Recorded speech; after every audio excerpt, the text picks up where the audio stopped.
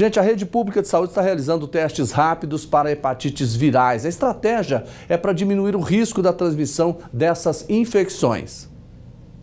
O alerta é claro, não é hora de amarelar. O mês de julho, inclusive, ganhou esta cor para reforçar a importância da prevenção ao contágio, às hepatites virais, que podem trazer complicações para a nossa saúde. Elas podem se manifestar de forma leve, moderada e grave. Então, a pessoa pode ter sintomas de dor de cabeça, icterícia, pele amarelada, os olhos amarelados. Então, a partir de qualquer um desses sintomas, ela procura imunidade de saúde para estar fazendo o teste, porque na maioria das vezes essa doença é sintomática. São vários tipos. As hepatites A e E são transmitidas pelo contato sexual ou com consumo de água impróprio para consumo.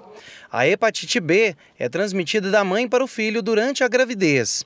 As hepatites C e D são transmitidas em geral pelo uso compartilhado de seringas e agulhas. Embora exista prevenção e também o tratamento para as hepatites, a única que permite eliminação com o uso de medicamentos é a do tipo C.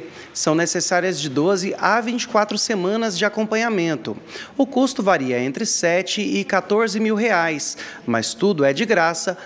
pelo SUS, o Sistema Único de Saúde. A vacina para hepatite B nos adultos pode ser aplicada em qualquer faixa etária. Nas crianças, a primeira dose é ao nascer e o reforço feito com 4 e 6 meses.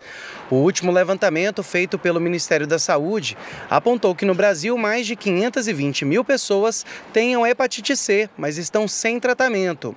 Em Goiás, entre 2019 e 2023, foram confirmados 3.430 casos de hepatites B e C. A doença já matou 219 pessoas no mesmo período. O público masculino é o que está mais sujeito à infecção. Durante todo o mês de julho são realizadas campanhas e intensificação da testagem rápida e da vacinação.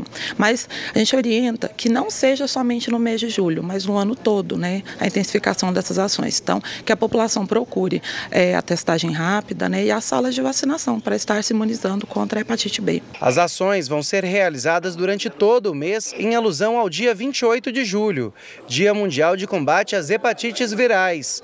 Os testes para identificar a doença podem ser feitos em todos os 246 municípios. A pessoa pode chegar em qualquer uma dessas unidades e solicitar a testagem. Uh, e essa testagem não é só disponível nas unidades básicas, mas também nas UPAs, hospitais e maternidades.